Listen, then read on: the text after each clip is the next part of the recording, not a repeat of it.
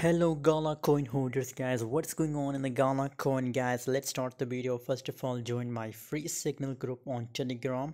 If you want to join my telegram group join now. Link is available in video description guys. On telegram i share 5 to 10 signal every single day completely free. So while you're waiting join now and make profit from my free calls guys.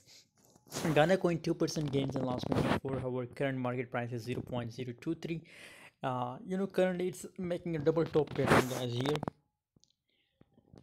Double top pattern guys. If you look here so this level is the resistance level for Gala coin guys what's the next scenario for Gala coin as it will pump or dump guys so according to my personal prediction guys I'm pretty sure that 80% uh, possibilities for Gala coin that it will start dumping guys so that's why I recommend that if you want to sell Gala coin but it's a, it's an intraday trading guys so for intraday it's the best yeah signal if you want a short best time for short position guys. Thanks for watching. See you in next video for latest update about Gala coin about a crypto market.